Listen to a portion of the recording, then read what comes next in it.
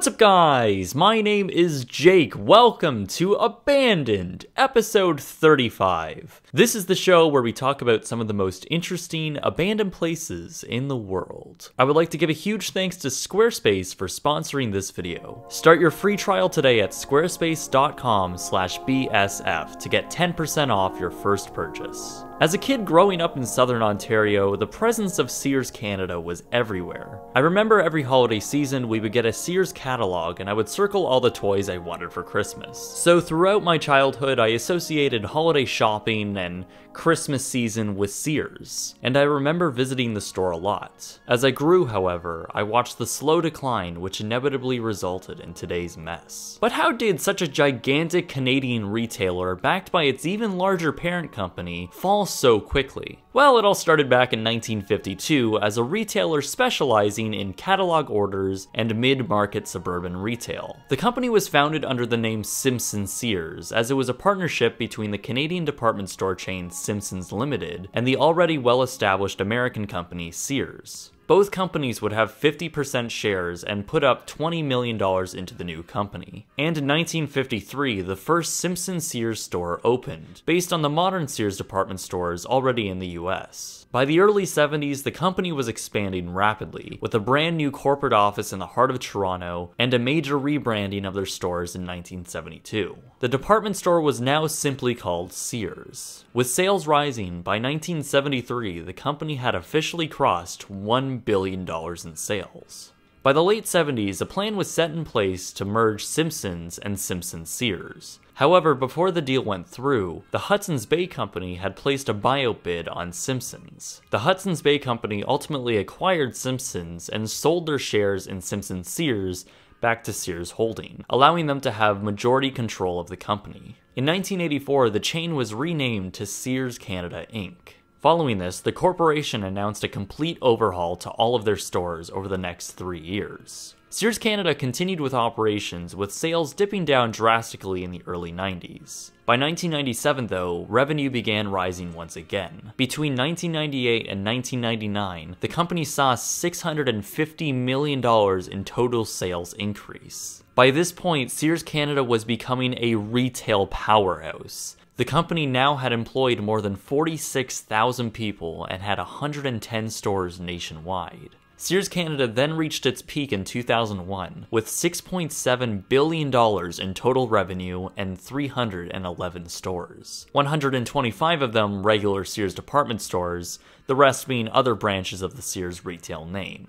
The retailer was focusing heavily on what they saw was most profitable and what consumers identified with the brand, which was appliances, home furnishings, clothing, and catalog orders. Following the company's peak in 2001, sales began to slow down and drop year over year. Problems began emerging in 2003 when the company stated in their annual report from that year, quote, while pleased with our performance relative to some of our other peers in the industry, we were disappointed with our results. Between 2003 and 2011, the company decreased $1.6 billion in total revenue. The company was clearly seeing problems, and by June, Sears Canada had named a new president and CEO to lead the company. Formerly of Canadian food giant Loblaws, Calvin McDonald had a three-year plan to restructure the company to ultimately produce a steady, sustainable income. This began with laying off 70 Sears Canada executives in December. By the following year, though, total revenue still dropped almost $300 million. Likely in an effort to combat the dropping revenue, the company closed and sold three of its larger stores. Its parent company, Sears Holdings, sold off a large chunk of its shares just to the point where they still had the controlling vote of 51%. This was a sign that even Sears Holdings, the geniuses who were in charge of running Kmart into the ground, saw that Sears Canada might be in a little bit of trouble. During this time, the chain also moved some of their product categories, including toys, to online only. By late 2013, the company announced they would be closing an additional five locations, including its flagship store in Toronto's Eaton Centre. Clearly, Sears Canada was on a downward slope, and the retailer's finances weren't recovering like Calvin McDonald had thought. By 2014, with revenue dropping another $560 million from the year before, McDonald had stepped down from CEO as Ronald Boire took the helm. Sears Canada ended 2015 with $3.1 billion in overall revenue. However, when calculating in all the company's expenses, Sears Canada lost $67 million. Something needed to be done internally to keep the chain alive. Ah, what are you doing in Toronto, Michael? I just came up to see how you're doing. Is Sears Canada going away?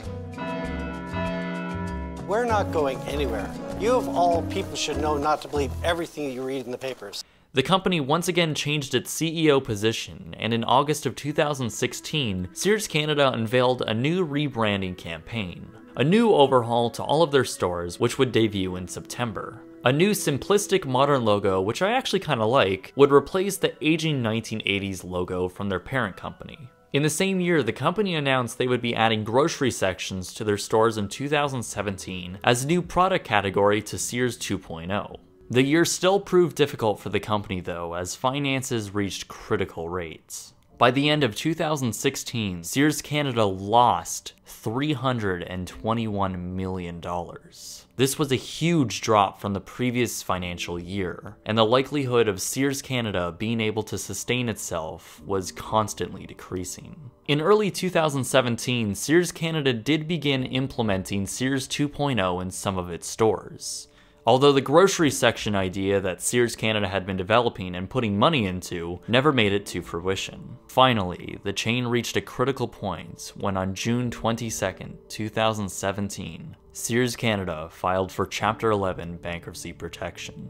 The company cited the decision to file as insignificant cash flow, and the filing would allow the company to proceed with operations. This would result, though, in the closure of 59 stores and the loss of 2,900 employees. And I know that you did your very best for Sears, and that you tried to help us to reinvent the company as part of this restructuring all of your employment with Sears Canada will end today. By October 2nd, 2017, Sears Canada requested the extension of their protection, as well as close another 11 stores. However, it was clear now to executives that Sears Canada would not be able to exit its Chapter 11 bankruptcy. Their only choice now was to liquidate their assets. On October 10th, 2017, Sears Canada announced they would be ceasing operations closing all of their stores and laying off nearly 12,000 employees. By the 19th, all Sears Canada locations began liquidation through the holiday season ending in January of 2018. Malls have an interesting dilemma with all of these stores closing, as they're left with large anchor spaces that most don't really know how to fill. In September of 2015, the Sears, which later turned into a Sears outlet store, closed at the Seaway Mall in Welland, Ontario. Returning back to give me some insight from a mall's perspective on Sears closing is Mike Belcastro, president of the Seaway Mall. Throughout the store's evolution in the Seaway Mall, uh, how did the evolution of the Sears store uh, the, tra- the foot traffic it would produce for the mall, how would that change over the years? The store, when it first opened, was a going concern because it was new to the area. Um, their traffic and sales stayed about the same throughout their entire term here. Maybe the last year we noticed a bit that the sales and traffic, uh, foot traffic started to slow down and I think the biggest reason for that was the lack of inventory, or as they said, they were changing things like one week there'd be no TVs, and then they were changing their clothing out. So I, I think that had a, a, an adverse effect on the, on the chain at the end. When Sears closed its store here in September of 2015, was it a surprise to you? Yes, uh, we were talking to them about six months prior to their closing about uh, renovating and expanding here at the mall, actually to the point where we had preliminary drawings. So for them just to cease to exist really caught us off guard. Uh, so did the company ever acknowledge their financial struggles to you? Uh, no, we actually didn't even know they were closing we got a call from the local newspaper telling us that one of the employees just had a meeting and they were told the store was closing. So that's how we found out. So I'm, I'm, I'm assuming initially the, the closure of the store would have been scary. Uh, could you talk a little bit about what the post liquidation was like here? Um, they had a liquidate like liquidation for about a month, and, and then once they closed, we noticed uh, a decrease in traffic immediately because we had lost one of our anchors. Um, and I mean, the whole time was how do we replace that tenant because tenants of that size are hard to come by, and it was we're closing, so it was a double whammy for us. Right. The Sears store here was only uh, 40,000 square feet, so it wasn't too large compared to other stores like Target. Right. Uh, how how difficult was it to lease that store? I know that two tenants have come in recently. From 2015 to now, how how difficult was it to lease? We were fortunate with the Sears store um, with our timing because it was one of the few Sears stores. They only closed about three at that point. So we were lucky. So we did find two tenants to take the store. Uh, I think now with the full chain closing, it's going to be much harder to find tenants not only to fill your Sears, but also your Target. So there's a lot of real estate out there in the country to fill, and there's not enough tenants to, to achieve that. Well, you have a very unique perspective since you are, uh, I mean, you're coming from a mall, and uh, that's where most of the Sears Canada stores are. Uh, what do you think is going to be a big problem that's facing uh, all of these malls that are going to lose their Sears Canada now? I mean, the big problem is finding another retailer to take that space. Um, you know, the average Sears store was between 90 and 100,000 square feet, and you know, you have your targets that were 130,000. So the targets are still not filled, so it's going to be very hard to fill the Sears. And I mean, it's not like there's more retailers coming to the country, there's more retailers closing. So I think it's going to be a, a, tough challenge for a lot of landlords, but I think you'll see a lot of different things happening, non traditional retail, um, different uses for that space other than retail. Was the bankruptcy of Sears Canada a surprise to you? Uh, to be honest, no. I think we all saw it coming in the last two years. Um, there was enough information in the media about what was happening with the company that uh, you kind of anticipated that it was going to come. Sears Canada had a stock price of $34 a share at its highest peak in 2007. By October of 2017, their stock price was down to 5 cents a share. Sears Canada peaked in the early 2000s, emerging from its collaboration between two massive retailers from two profitable markets. The 65 year old company built its way up to 327 stores, $6 billion in total revenue, and 50,000 employees. All crumbled within 15 years. Sears Canada is now liquidating all of its estimated $1.2 billion worth of assets and closing the remaining 200 stores. Seeing the gigantic mess that Sears Canada is right now, and seeing it unfold in real time, I kind of imagine Sears Canada corporate headquarters to kind of look like that one scene from Fun with Dick and Jane. Somebody tell me what the heck is... Hey, there's a fire! Somebody should... Okay. Whoa! This can't be good.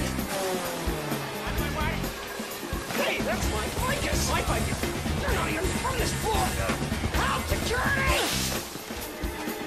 Anyways, much like the liquidation of Target Canada, Sears will be abandoning most of its anchor spaces in malls across Canada. It will likely be a very long time before they are all filled with other retailers, and the scars Sears Canada leaves will be left in the Canadian retail market for years to come. The abandoned stores are now just a reminder of the once powerful Canadian retailer. While just a subsidiary of Sears Holdings, the company who itself is on the brink of bankruptcy, I grew up with the chain fondly and will always be something that I remember going to as a kid. While I can't say I'm sad to see it go, I mean really, as a teenager walking around the mall, we would go into Sears Canada ironically and laugh at how awful the stores were. Wow, I'm really cynical. The company, after all, was a catalog mail order business, and its inability to keep up with changing market trends like online sales was just another reason why revenue dropped so rapidly. Its stores look so tired and depressing compared to others, with prices barely being competitive. With all of this, it was likely that Sears Canada's fate was inevitable. Sears Canada, though, genuinely was an iconic brand to Canada. It was once a great retailer in its day, and one that made its mark in Canadian retail. If you run a podcast, own a business, create videos, or are looking for an online portfolio, you likely need a website. Squarespace is the perfect place to start one with their easy to use and extremely slick user interface. Squarespace has a wide collection of customizable templates, so you can easily and quickly build yourself a beautiful, professional looking website. With their year round 24 7 customer support, you literally don't ever have to worry about being left in the dark. To get 10% off your first purchase, all you need to do is use the link squarespace.com slash BSF. I've actually set up my own website with Squarespace where you can go and request topics for upcoming abandoned videos. The topic that has the most votes from my Squarespace site will get its own video at some point. Anyway guys, my name is Jake, follow us on Twitter, Instagram, and Snapchat, and thank you very much for watching. Yes.